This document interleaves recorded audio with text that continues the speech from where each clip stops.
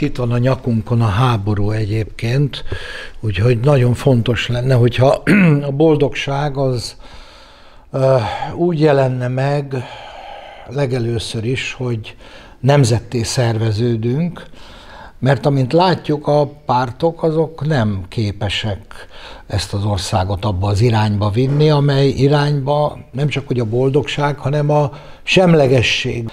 Mit akar a vármegyei autonómia?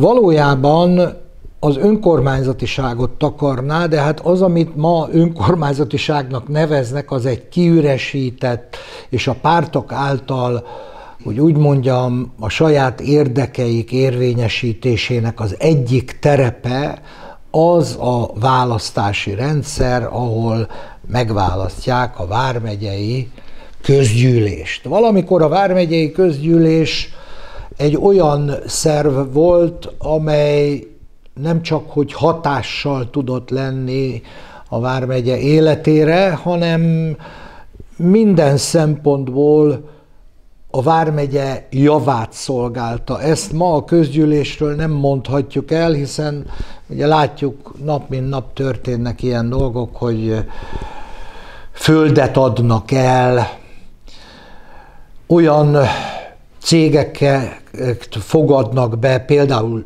Debrecen befogadta ugye ezt a kínai akkumulátorgyártó céget, és ilyenkor a kormány természetesen azt mondja, hogy mi valami soros pénzen tartott árulók vagyunk, akik nem akarjuk az ország javát.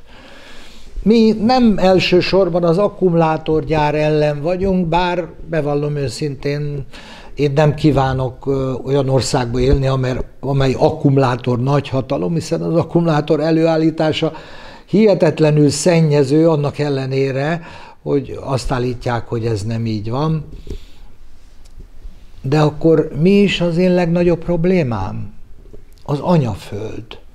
A jó minőségű anyaföld ipari területté nyilvánítása.